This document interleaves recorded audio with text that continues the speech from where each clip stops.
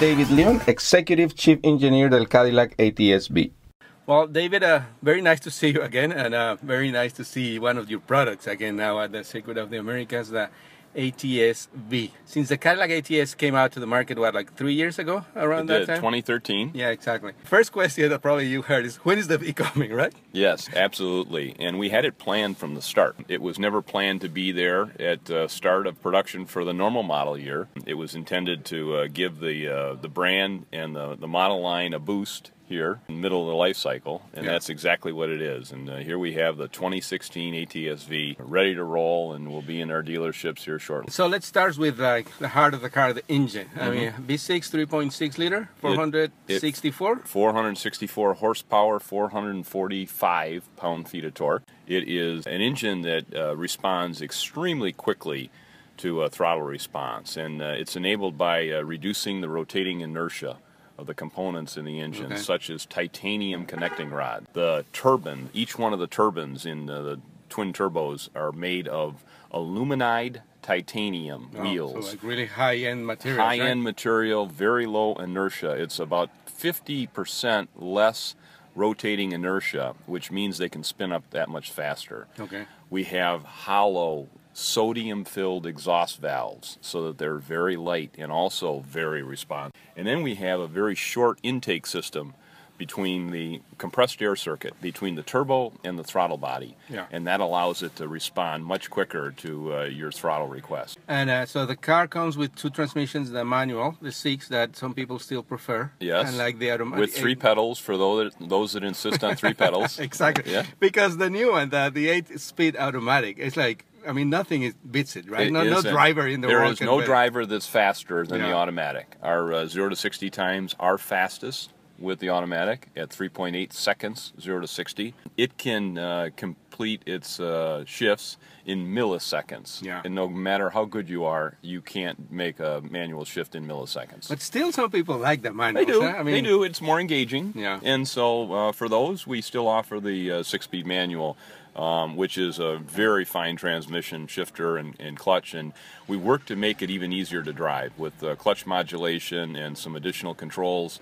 Um, we can make it very easy to launch. It has a feature, the manual, that uh, you don't have to lift the, the foot from the clutch, right? Right, What is right. that called, please? And It's you explain called the, how uh, it works? Yeah, no lift shift. Okay. Okay.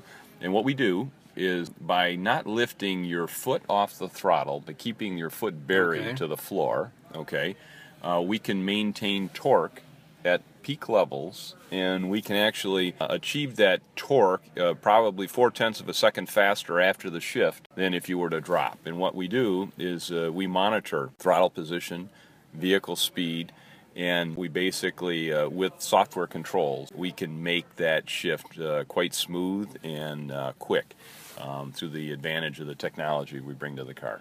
But still, the automatic is better. The automatic is still faster, even with that technology. Okay, Which is amazing. I never Yeah. heard of, of such a thing Yeah. before. I mean, Well, I think if- it's the if- first. Yeah, it, it the no lift shift. Yeah. It's the first for us. Yeah. Yes, and uh, I don't want to claim first in the industry, but it's the first for us, and Yeah. uh, we're very proud of it. it. Works quite well, and we have uh, launch control.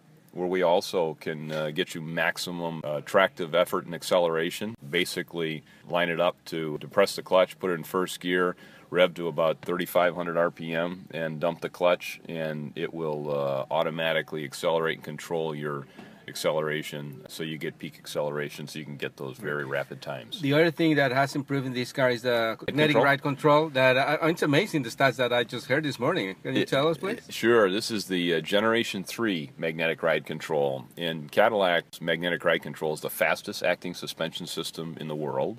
And it just got faster. That's right? incredible. Going down, we actually, the, what's new this year is we have a controller that has uh, about three times the computing power of what we used to have. And we have, we've added a second coil to each one of the dampers. And it's called a uh, twin coil dual wire uh, system. And what it allows us to do is it gives us greater authority in terms of the amount of damping control that we can add, but it's much faster. It's 40% faster. And so normally the last generation, uh, going down the road at 60 miles an hour, the car measured the road and could make adjustments within three inches of traveled road at Wow. 60 miles an hour. New with the Generation 3, we can make those same adjustments in one inch Wow. of traveled road. So it's faster than you can blink. It's incredible. I mean, like, uh, I'm not an engineer, obviously, but like, uh, how, how does the, the that uh, formula works in the in the mind of an engineer? Say, okay, three inches already super fast, but okay, let's do it Yeah.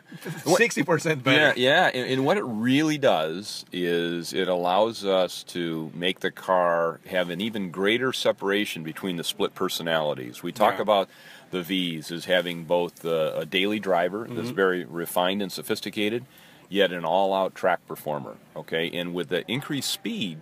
What it means is, is I can actually back off on the control on the low speed input. So driving down the road, Yeah. can actually make the car better isolated and softer and quieter. Yet on the track, I can get that ultimate performance that Take you it need. to the other extreme. at the other extreme faster, such that by having that capability, there's no compromise. Okay, this car actually has better isolation than the base car, but it has ultimate control that far exceeds it. And uh, the V comes in both the sedan and the coupe, right? Sedan Any and coupe. differences in performance? Uh, No, the two cars are within a few pounds difference in mass, and uh, they're very comparable. And the interior, I mean, like obviously being the V, which is the top of the line for, for Cadillac cars in terms of uh, performance, but also, I mean, the detailing, the materials, and everything, it's incredible here. We use very fine, refined materials on the interior. Every ATS-V has cut and sew. Every ATS has cut and sew interior, but we even step up the usage of materials.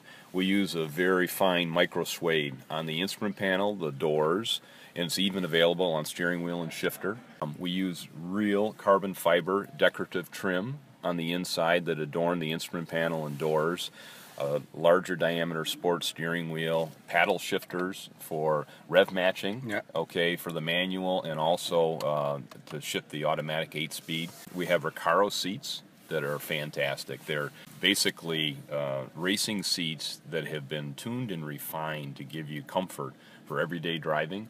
With 16-way adjustments, the seats are uh, extremely Yeah, very comfortable. And Yeah, really, and they really help in the, They on do. the track. Yeah. They do. There's there's bolsters, pneumatic uh, Yeah. bolsters in both the cushion and the seat back for uh, maximum adjustment. So we're sitting in the coupe now, and I'm, I'm looking at the rear seats. I mean, there's like more than enough space for, for there, a couple there of is people back there. for a couple of guys your Yeah. size and my size. Okay, if if if we were two meters or six foot four, it'd be a different situation. But no, it does accommodate uh, four people quite comfortably. So Dave, this car obviously it's uh, out there to compete with the BMWs, the Mercedes-Benz, the Mm-hmm. Audis. How, how does it compare in uh, stats? I mean, like, Sure, sure. It is the fastest, 0 to 60, at 3.8 seconds. Yeah. Okay. BMW is uh, 3.9 and four one respectively. Audi isn't close on the stats. And then on the horsepower, it also has uh, dominance in the horsepower race as well.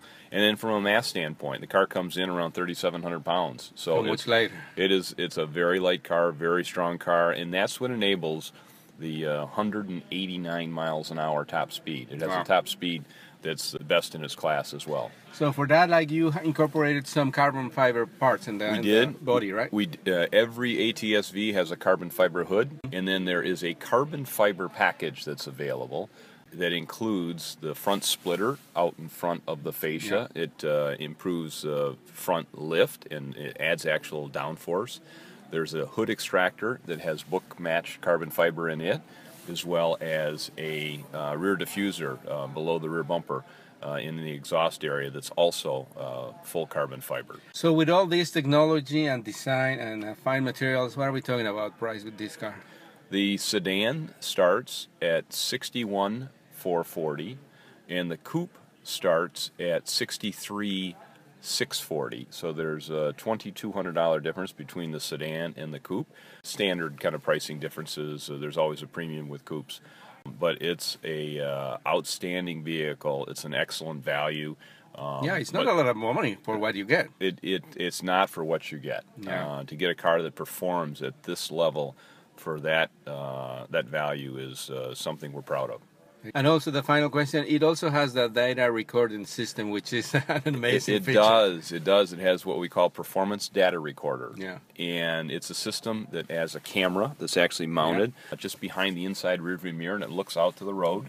and you have several different options in terms of what you want to display. You can just display what you see with your eyes out the windshield, but there's different overlays that you can put on the screen, and you can plot engine RPM, you can plot time on the throttle, time on the brake, vehicle speed, maximum acceleration.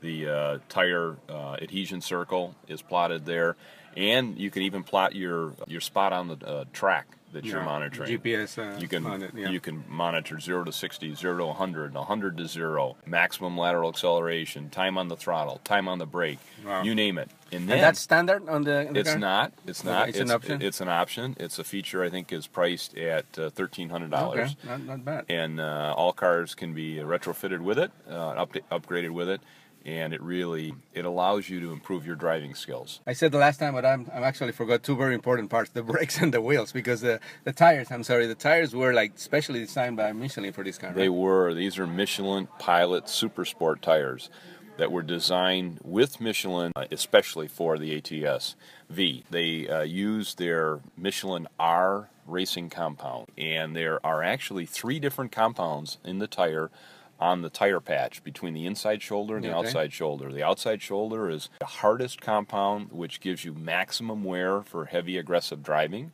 And then each one of the ribs uh, inboard of it are of a softer compound, and it enables us to get maximum steering response, lateral grip, and then wet traction performance. And so these tires are fantastic in the rain uh, also. And the fronts are 255 35 18s, the rears are 275 35 18s. And uh, they enable the car to exceed 1G in maximum lateral Wow. acceleration. That's It's a lot. one, one For, a- for a point- regular car. 1.03 G's maximum lateral acceleration. Then when you're moving that fast, you need those Brembos. Huh? You need brakes. You need fantastic brakes, and uh, we have the, the best in the business with Brembo. Uh, we partnered with them, and we have uh, six piston front brakes with a uh, two piece construction front rotor, and in the rear we have four piston brakes, and uh, all Brembo, all outstanding pedal feel and stopping business.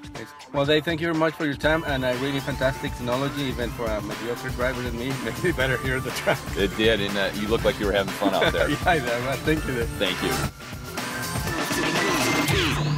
Este programa fue una producción de National Latino Broadcasting.